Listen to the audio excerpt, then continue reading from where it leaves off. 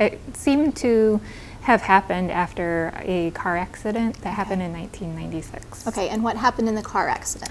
Um, I broke my femur here, and the seat belt itself Okay. um, cut through a winter jacket, a sweater, and a turtleneck. So Okay. there's So- a pretty.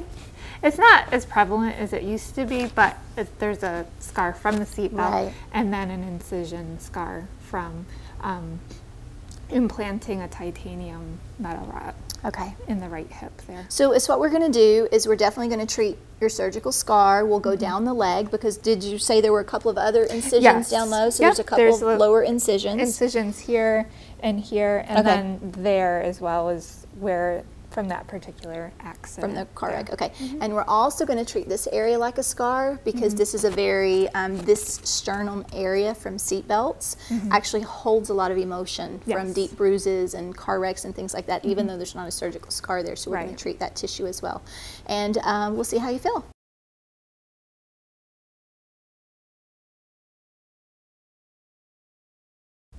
What do you feel? What do you notice? I feel something I haven't felt in nearly 20 years. it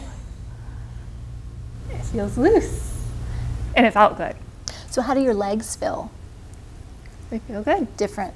Yes. I, Okay. I feel a lot of times I would have to do like rotational sorts of things to get this area to pop back into the right place. Right. And it feels like it's in the right, Right. place you right don't feel now. like you have to do that. because it's on, and it's on the right side and it feeling like it's in the right place Right. feels so that fascia better. is just, Just- looser. So you feel less restricted. and it's not just in there that area it feels like my whole right side is a whole lot looser Mm-hmm. than my left side is now You're welcome.